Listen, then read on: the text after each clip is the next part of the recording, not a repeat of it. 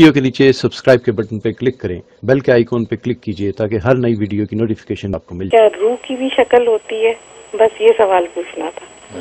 جی ماشاء اللہ بڑا دلچسپ سوال کیا ہے۔ اور روح کی حقیقت پوچھنا چاہتی ہیں۔ بہت اچھا سوال کیا۔ سب سے پہلے تو آپ نے بتایا غیب کی باتیں بھی آپ دیکھتی تھیں۔ جی۔ اس کے آپ بہت پرانی ہماری فین ہیں۔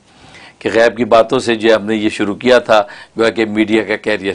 اور جناب، آج پھر روح کی باتیں آج ہم جو ہے وہ پروگرام نیا شروع کر رہے ہیں۔ اللہ آپ کو جزائے خیر دے کہ آپ ہمارے پروگرام محبت سے دیکھتی ہیں۔ اللہ ہمارے علم سے پورا پورا آپ کو نفع پہنچائے۔ باقی سوال بہت اچھا کیا آپ نے کہ جیسے انسان کی جسم ہے کی ایک شیپ ہے، کیا روح کی بھی ہے؟ تو بالکل بہت عمدہ آپ نے یہ پوائنٹ اٹھایا۔ کہ ہاں روح کی بھی بالکل اسی طرح شیپ ہے جیسے جسم کی ہے؟ جسم کی جیسے شیپ ہے، بالکل ایسی شیپ روح کی ہے۔ ہر ایک چیز کے اندر یہ ناخن کی بھی اپنی روح ہے۔ انگلی کی اپنی روح ہے۔ لہٰذا آپ نے کہا ناخن کو کھینچے تو اس میں تکلیف ہوتی ہے۔ تو اصل میں روح روح کی تکلیف ہے۔ پاؤں کے ناخن کھینچو اس کی تکلیف ہے۔ تو گویا کہ جسم کے جتنے اعضاء ہمیں نظر آتے ہیں، اس کی اپنی اپنی روح ہے۔ آنکھ جو ہے، آنکھ کی اپنی روح ہے۔ آنکھ کے اندر وہ روح ہے۔ کیونکہ یہ وجہ آنکھ نہیں دیکھتی، اصل میں روح دیکھتی ہے۔ یہ وجہ کہ کتنے لوگ جن کی آنکھ صحیح ہوتی ہے، لیکن نظر نہیں آ رہا ہوتا۔ کان نہیں سنتے، روح سنتی ہے۔ حالانکہ یہ کان ہے، تو کتنے لوگوں کے کان ہیں، جو بہرے ہیں، ان کے کان ہوتے ہیں، لیکن وہ سنتے کیوں نہیں ہیں؟ اصل میں وہ اس کی روح، جو کان کی جو روح ہے، وہ ڈیمیج ہو گئی ہے، اس لیے وہ سنتے نہیں ہیں۔ ہاتھ ہے، ہاتھ جو پکڑتا نہیں ہے، شل ہو گیا۔ حالانکہ ہاتھ ہے، پکڑ نہیں رہا، کیوں؟ اس کی روح جو اندر تھی، وہ ڈیمیج ہو گئی ہے۔ تو اس لیے لکھا ہے علماء نے، کہ اس کے پورے جسم کی ایک ایک کی الگ الگ روح ہے۔ اور الگ الگ ہی وہ تصرف کرتی ہے ان روح کی، یہ یہ جسم تو کھڑکی کی مانند ہے۔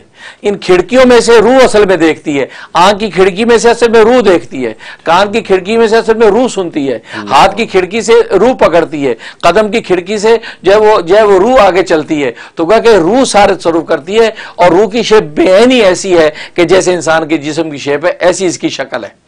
اب وہ ہے کیا چیز؟ اس کی جو نوعیت ہے وہ نوعیت مخفی ہے۔ اس کے بارے میں قرآن نے کہا کہ یس سالونہ کا انی روح کہ لوگ اے پیغمبر آپ سے روح کے بارے میں سوال کرتے ہیں۔ تو قل من امر ربی آپ کہہ دیجیے یہ میرے میرے رب کا ایک امر ہے۔ امر الہی ہے اس کی حقیقت کیا ہے؟ اس کی حقیقت تو خود جو ہے وہ حضرت اسرائیل کو بھی پتہ نہیں۔ اللہ معراج کے سفر میں حضرت اسرائیل صلاحت والسلام سے نبی پاک صلی اللہ علیہ وسلم نے پوچھا کہ روح آپ جو قبض کرتے ہیں یہ روح آپ نے دیکھی ہے؟ اس کی کیا حقیقت ہے؟ تو فرمایا کہ اے اللہ کے حبیب، مجھے ابھی تک روح کی حقیقت کا پتہ نہیں چلا۔ جب میں کسی کو روح قبض کرتا ہوں، تو میری اس ہتھیلی پہ تھوڑا سا وزن فیل ہوتا ہے۔ ہلکا سا وزن فیل ہوتا ہے۔ مطلب کہ روح میری اس اس کی میرے ہاتھ پہ آگے ہتھیلی پہ آ گئی۔ پر اتنا فیل ہوتا ہے، اس کے بعد وزن ختم ہو جاتا ہے روح اپنے مقام پہ چلی جاتی ہے۔ جو اللہ نے مقام رکھا ہے۔ تو معلوم ہوا کہ وہ روح کی حقیقت اس درجے میں تو انبیاء کو بھی پتہ نہیں ہے اور کسی کو خبر نہیں ہے، لیکن یہ کہ روح کی شیپ ہے ایسی جیسے کہ جسم کی ہوتی ہے۔ ماشاء اللہ